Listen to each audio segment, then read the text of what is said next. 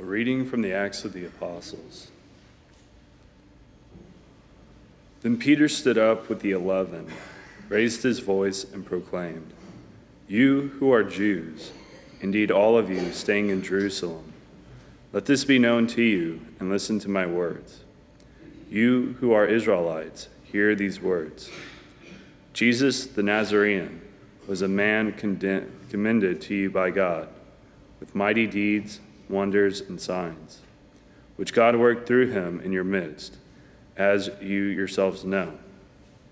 This man delivered up by the set plan and foreknowledge of God, you killed, using lawless men to crucify him. But God raised him up, releasing him from the throes of death, because it was impossible for him to be held by it. For David says of him, I saw the Lord ever before me. With him at my right hand, I shall not be disturbed. Therefore, my heart has been glad and my tongue has exulted. My flesh too will dwell in hope, because you will not abandon my soul to the nether world, nor will you suffer your Holy One to see corruption. You have made known to me the paths of life. You will fill me with joy in your presence. My brothers, one can confidently say to you about the patriarch David that he died and was buried, and his tomb is in our midst to this day. Since he was a prophet and knew that God was sworn an oath to him, that he would set one of his descendants upon his throne. He foresaw and spoke of the resurrection of the Christ, that neither was he abandoned to the netherworld nor did his flesh see corruption. God raised this Jesus, of this we are all witnesses. Exalted at the right hand of God, he received the promise of the Holy Spirit from the Father and poured his forth as, as you see and hear. Verbum Domini.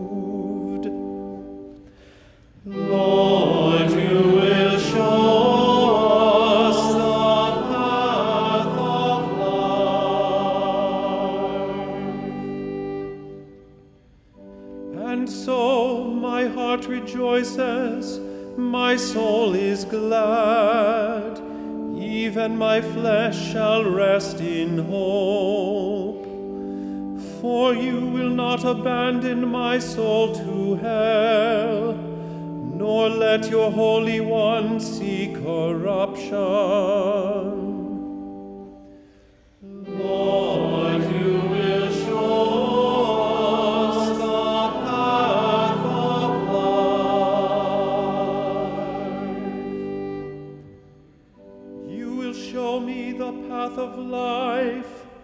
The fullness of joy in your presence, at your right hand bliss forever. Lord, you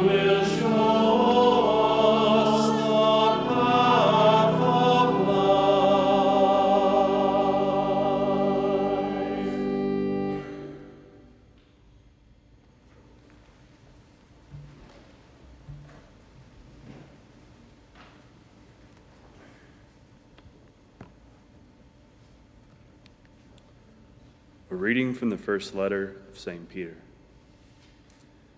Beloved, if you invoke as Father him who judges impartially, according to each one's works, conduct yourselves with reverence during the time of your sojourning, realizing that you were ransomed from your futile conduct, handed on by your ancestors, not with perishable things like silver or gold but with the precious blood of Christ, as one, a spotless, unblemished lamb. He was known before the foundation of the world, but revealed in the final time for you, who through him believe in God, who raised him from the dead and gave him glory, so that your faith and hope are in God. Verbum Domini. Alleluia,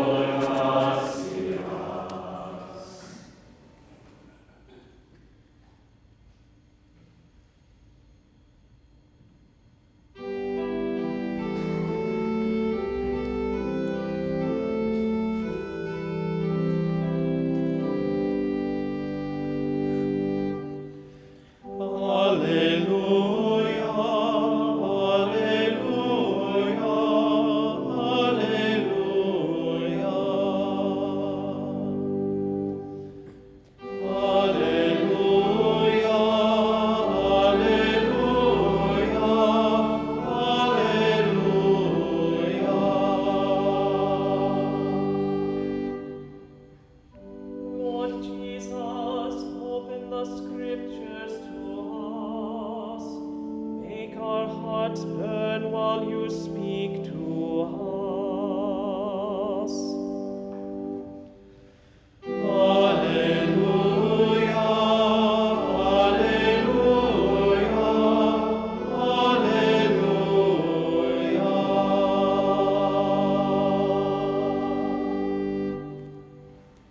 Dominus vobiscum. Lectio Sancti Evangelii secundum Lucam.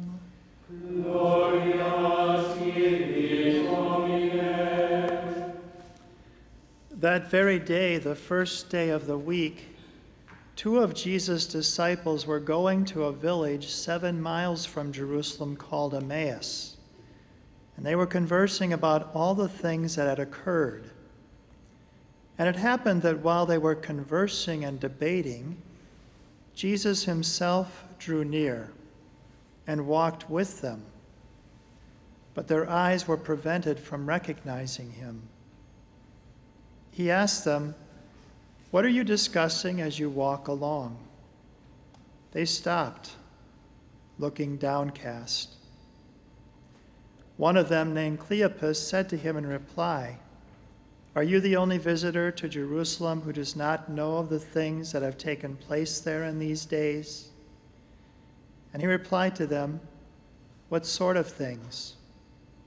They said to him, The things that happened to Jesus the Nazarene, who was a prophet, mighty in deed and word before God and all the people how our chief priests and rulers both handed him over to a sentence of death and crucified him. But we were hoping that he would be the one to redeem Israel. And besides all this, it is now the third day since this took place. Some women from our group, however, have astounded us. They were at the tomb early in the morning and did not find his body. But they came back and reported that they had indeed seen a vision of angels who announced that he was alive. Then some of those with us went to the tomb and found things just as the women had described, but him they did not see. And he said to them, Oh, how foolish you are! How slow of heart to believe all that the prophets spoke. Was it not necessary that the Christ should suffer these things and enter into his glory? Then, beginning with Moses and all the prophets, he interpreted to them what referred to him in all the scriptures. As they approached the village to which they were going, he gave the impression that he was going on farther. But they urged him, Stay with us, for it is nearly evening and the day is almost over. So he went in to stay with them. And it happened that while he was at table with them, he took bread, said the blessing, broke it, and gave it to them. With that, their eyes were opened and they recognized him, but he vanished from their sight. Then they said to each other, Were not our hearts burning within us while he spoke to us on the way and opened the scriptures to us? So they set out at once and returned to Jerusalem, where they found gathered together the eleven and those with them who were saying, the Lord has truly been raised and has appeared to Simon. And the two recounted what had taken place on the way and how he was made known to them in the breaking of bread. Verbum Domini. It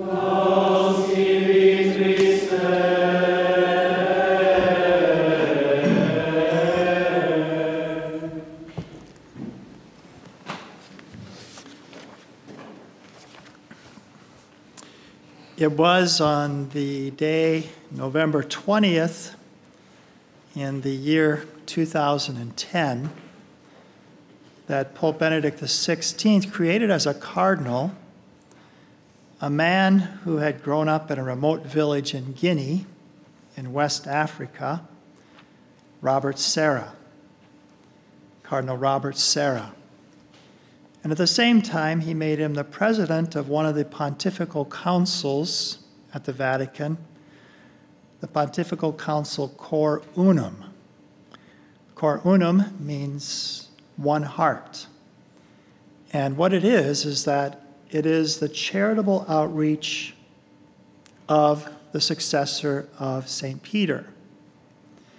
And Pope Benedict, before he had created him as a cardinal, had a private meeting with him, and he said, I know that you know what poverty and what trouble, difficulties are, since you've experienced them in Guinea. And I know that you will know best how to apply the charitable means of the church in the tragic situations. And so, in different, where there's war, where there's natural uh, disasters, epidemics, famines, these sorts of things. It's a way in which the church reaches out and brings the charity of Christ to these places. And as Cardinal Sarah would say in commenting on this, that often the deepest need people have is not for material things, although that is necessary, but is the need they have for God. It's often that, that God has been obscured or is absent from the hearts of men that makes the difficulty even more tragic, even more miserable. And so it's not enough just to bring that material aid, they also need to encounter the love of God. And so he was asked, What was one of the most remarkable events that took place during your four years as a president of the Pontifical Council Cor Unum. And he related that terrible tsunami that took place in Japan, March uh, 11, 2011. And it was two months after this horrible event in which thousands of people had lost their lives and their homes and everything that he flies there to Japan. And he found it remarkable the welcome that he received because most of the people were Buddhist. But they were looking, he said, not just for the material aid that he was bringing, they were looking for some hope in God from him. Despite their differences in religious beliefs, they were looking for, from him, some hope in God.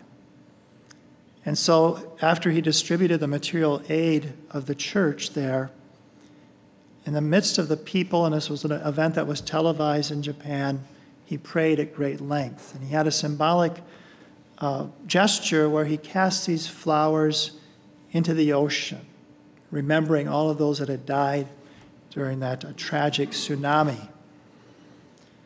And he said he looked at the orphans' eyes. They had lost their parents and they were so sad.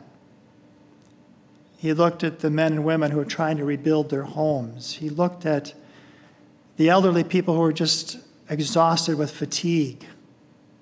And he realized that only God could console them, could touch their hearts, could enter into their hearts and bring them that deepest consolation that, that they needed at that time. It was two months later, after he returned to the Vatican, that he received a letter that he recounts in his book from a Buddhist woman in Japan. I wanted to read that letter in its entirety and uh, tie it into our gospel of today. So he wrote a young a, letter from a young Buddhist woman wrote me 2 months after my return from Japan and it moved me profoundly. She told me, quote, after the terrible tsunami in which we lost many members of our family and almost all our belongings. I wanted to commit suicide. But after hearing you on television, with the peace and serenity that I rediscovered while watching you pray for the survivors and for the dead, after the effect in me of your recollection and your silent prayer on the seacoast, and finally, after the moving gesture that you made by throwing flowers into the ocean in memory of all who were engulfed by the waves, I gave up the idea of killing myself. Thanks to you, I understood, and now I know that despite this disaster, someone loves us, lives beside me, and shares my sufferings because we must certainly be of great price in His sight. This someone is God. I felt His presence and His compassion through the Holy Father, the Pope, and through you. I am not Catholic, but I write you these lines to thank you and to thank the Holy Father, Pope Benedict XVI, for this immense comfort that you have given me. I know that other persons have received, as I did, this precious spiritual aid that we all need, especially at a time of great, terrible trials. And so, commenting on this letter, Cardinal Sarah, that's the end of that letter, Cardinal Sarah says that uh, bringing the church's charity, he says, is to help people to rediscover the presence the compassion and the merciful love of God in the midst of our sufferings. And this final paragraph that ties really to today's gospel, he said, The real relief that we must bring to the poor and to afflicted people is not just material, but spiritual. It is necessary to reveal to them the love, the compassion, and the closeness of God. God is with us in the trial. He walks with us along the road to Emmaus, the road of disappointment, suffering, and discouragement. And so in today's gospel, we hear that this stranger they do not recognize, these two disciples, and they're asked what they're talking about. And what does Luke say? They stopped looking downcast. And they go on to talk about they had had all this hope in Jesus the Nazarene. They were hoping he was going to be the one that they were waiting for. And they're using the words in past tense. We were hoping, like it was lost. But what happens is that Jesus opens up to them a new understanding of the scriptures. It was something that had not occurred to them, how the scriptures had foretold the sufferings that the Christ would endure, and this was fulfilled in Jesus. And in fact, he had risen from the dead. And so, what did they say after they came to recognize Jesus in the breaking of the bread? Weren't our hearts burning within us? Weren't they burning in us as we came to understand something we didn't see before? And you know, in the tragedies of life, and of course, this was just a terrible tragedy to the disciples, that many abandoned the Lord, they left for fear, or they're hiding in fear. This horrible tragedy, and yet it had never occurred to them how God was working in that very event. And in some way, he was going to bring a resurrection, you know, as he does at all the tragedies of life, and somehow he's going to bring some life. I remember one of the sisters saying to me one time, Remember, Father Joseph, with every cross, there's a resurrection. There was something difficult that was going on at the time. Remember, Father Joseph, with every cross, there is a resurrection. And then when we think about St. Peter, too, that he's been lifted up.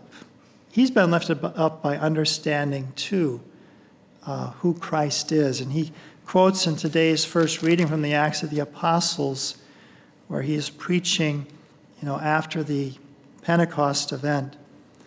He's quote, he quotes David, so one of the Psalms.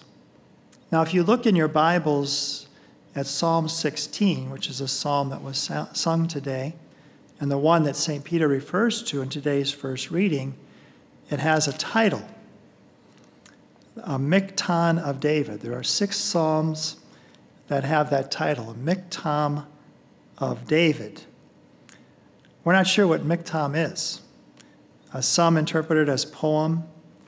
Others think it may pertain, pertain to one of the instruments that was to be used because the Psalms were something to be sung. So I'm happy we have our choir here to help us to sing this Psalm 16, which is one that Peter is pointing to specifically as being fulfilled in Jesus. That David so, this is one of the Psalms specifically attributed to David. That David foresaw, he says, David was a patriarch, but he's also a prophet. And he foresaw and he spoke of the resurrection of the Christ. And so, what did we hear in this psalm? That you would, you would not abandon my soul to the netherworld, nor will you suffer your faithful one to undergo corruption. You know, there was an understanding that on the f- fourth day, that's when the corruption began. So, do you remember when Lazarus was sick and the message is brought to Jesus, but he waits? He doesn't go immediately. And in fact, when he arrives, Lazarus has been four, four days dead. And what does uh, Martha say when Jesus says, Unroll, open the tomb? There's going to be a stench the corruption had started. Well, Jesus rose on the third day. And so, what did David prophesy? You will not suffer your faithful one to undergo corruption. And then, part of that psalm that we repeated you will show me the path of life. You will show me the path of life because we too, and in fact, our prayer after Holy Communion today will refer to this that we too will share in this incorruption of glory of Jesus. Yes, our flesh will be corrupted here on this earth, but it will be restored in glory. And so after communion, I will say this prayer Look with kindness upon your people, O Lord, and grant, we pray, that those who are, you are pleased to renew by eternal mysteries may attain in their flesh the incorruptible glory of the resurrection. With every cross, there is a resurrection. We need to know, as Cardinal Sarah said, and as this Buddhist woman had come to discover that God walks with us. You know, Father Mark and I had the privilege of uh, going to these different sites in the Holy Land this past December, and recently they aired our special that we did on the resurrection sites of our Lord. And we started at Mount Tabor, which was a prefiguration of his resurrection. And then we also went to, uh, of course, the Holy Sepulchre, the tomb where Jesus rose again from the dead. We went to the Sea of Galilee, one of the resurrection appearances of Jesus. But we also went to the spot revered of where our Lord appeared to these two disciples on the road to Emmaus. There's actually three different sites there in the Holy Land. But this one, and specifically, uh, there's a saint, Saint Mary of the Cross, I think her name is, where the Lord revealed to her that this was the site. Pope Benedict, as a cardinal, offered Mass there. There's a picture depicting that. We had the privilege to offer Mass there too. But what that points to is that these are historical, real places where these events really happened, really took place. The Lord really did walk with these disciples on this journey that they were on. But we can also think of it, as we mentioned in that show, that Emmaus is really everywhere because Jesus walks with us. We're not alone.